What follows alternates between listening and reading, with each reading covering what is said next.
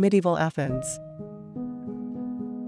The transformation of the city under Byzantine rule and the construction of several important churches and monasteries. Under Byzantine rule, Athens underwent a significant transformation and became an important center of Christianity.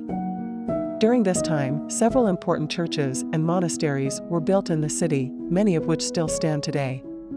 The most notable of these include the Parthenon, which was converted into a church dedicated to the Virgin Mary, and the Temple of Olympian Zeus, which was transformed into the Church of St. George.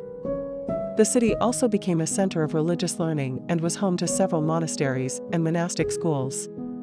These institutions played an important role in preserving classical knowledge and the transmission of the Christian faith, and they helped to keep alive the cultural heritage of ancient Athens. Despite political and economic struggles, the city remained an important center of Byzantine culture and religion for several centuries, and its rich history and cultural heritage continue to influence the city today. The city's role as a cultural and intellectual center during the period of Frankish rule. During the period of Frankish rule in Athens, which lasted from the 13th to the 15th centuries, the city continued to be a center of culture and intellectual life. Despite political and economic instability, the city was home to a thriving community of scholars, artists, and intellectuals who were influenced by both Byzantine and Western cultural traditions. Many of the city's churches and monasteries were also important centers of learning and scholarship, and they served as repositories of knowledge and cultural heritage. During this time, the city was also a center of the arts, with a vibrant tradition of painting, sculpture, and manuscript production. Despite the challenges posed by the political and economic instability of the period, Athens remained an important center of culture and intellectual life, and its legacy continues to influence the city and the wider world today. The Ottoman conquest of Athens in the 15th century and the city's decline into a small, impoverished town. The Ottoman conquest of Athens in the 15th century marked a turning point in the city's history, leading to a period of decline and impoverishment. Under the Ottoman rule, Athens became a small and relatively insignificant town, with a population that was much smaller than in its heyday. The city's economy was based primarily on agriculture and trade, and it was largely cut off from the wider Mediterranean world. During this time, many of the city's historic buildings and monuments were neglected and fell into disrepair, and the city lost much of its former cultural and intellectual vibrancy.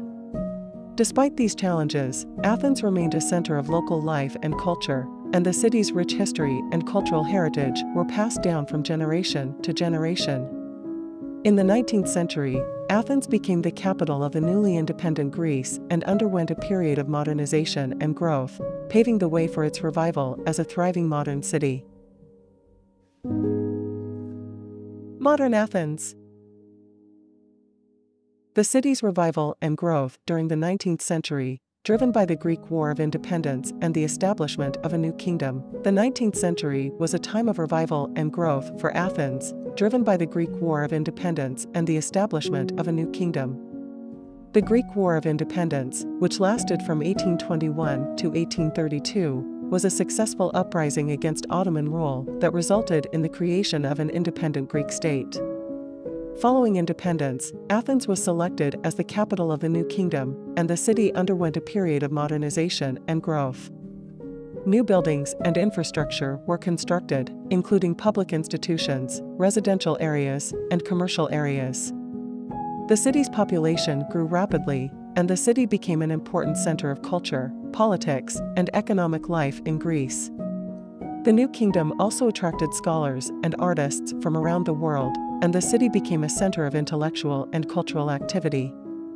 The revival of Athens during the 19th century set the stage for the city's continued growth and development as a thriving modern metropolis, and its rich cultural heritage continues to influence the city and the wider world today.